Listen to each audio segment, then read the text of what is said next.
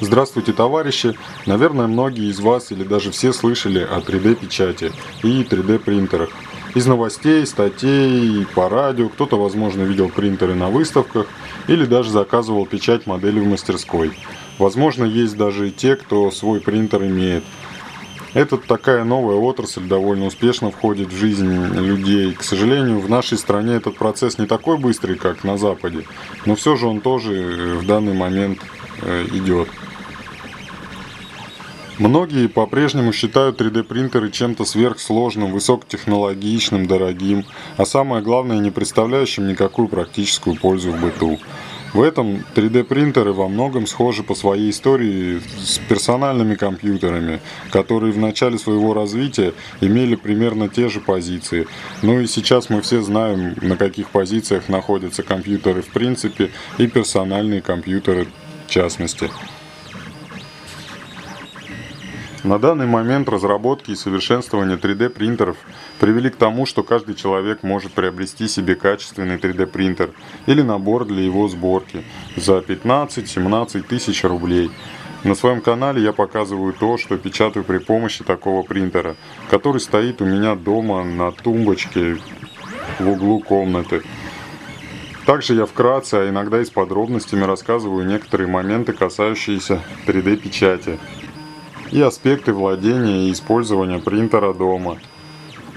Не обязательно владеть навыками моделирования, ведь множество моделей и совершенно бесплатно любой желающий может взять из сети, и это одна из особенностей сложившегося сообщества так называемых мейкеров, которые выкладывают свои модели, технические разработки, а иногда даже целые изобретения совершенно бесплатно в сеть э, со всеми подробностями о том, как это сделать, э, что из этого надо напечатать на 3D принтер, каким материалом, как это все будет работать. Э, на моем канале 90% показанных видеомоделей найдены в сети, и лишь 10% примерно я сам смоделировал, и все их можно скачать бесплатно из ссылок под видео. Что же можно сделать дома при помощи 3D принтера? Например, шахматы викингов, потерянные ножны для ножа, фигурку Эльфелевой башни, вот такую вот. Или прикольную вешалку такой вот формы. Где-нибудь видели ее в продаже? Чехол для телефона или медицинского прибора тоже вполне можно сделать даже с креплением. Заглушку буксировочного крюка на бампер автомобиля. Все, все это можно сделать, а также в огромном количестве всякие кронштейны, застежки корпуса для каких-то своих изобретений или для детской радиоуправляемой машинки, например коробочки, вазочки, да даже цветочные горшки причудливой формы. По сути, все это можно сделать. На данный момент 3D-печать позволяет изготавливать прочные и качественные изделия с индивидуальными параметрами непосредственно дома. А учитывая, что отрасль сравнительно новая, есть области и для развития, и для экспериментов. Тем временем допечатались колеса, которые вы видели, как печатается на принтере. Вообще делал я их для машинки на пульте управления, но на самом деле можно их и в какую-нибудь тележку поставить, да и куда угодно. Вот такие вот получились колеса, я их уже установил.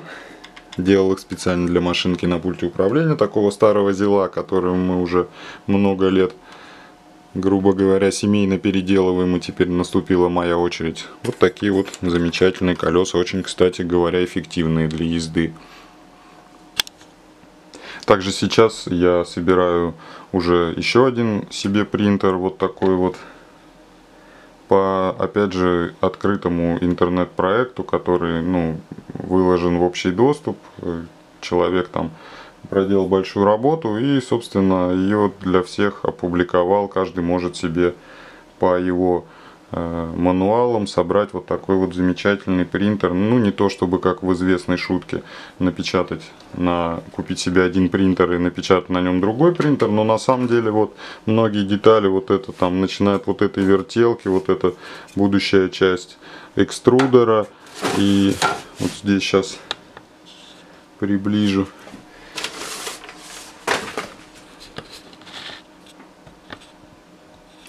Вот эта вот часть, допустим, экструдера, вот эта часть экструдера и там еще с другой стороны экструдер, это все тоже напечатано на 3D принтере, вот на моем, который сейчас есть.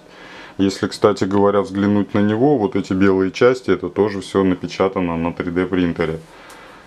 Поэтому, в общем, в каждой шутке есть доля шутки. Но вот этот вот принтер, который я сейчас собираю, оригинал его производитель выпустил.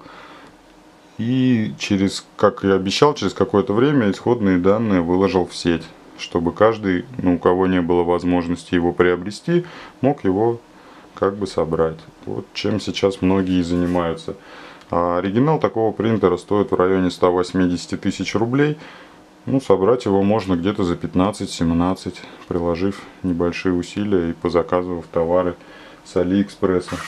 В общем, если интересуетесь различными технологиями или просто хотите быть в курсе, добро пожаловать на мой канал, смотрите видео, задавайте вопросы.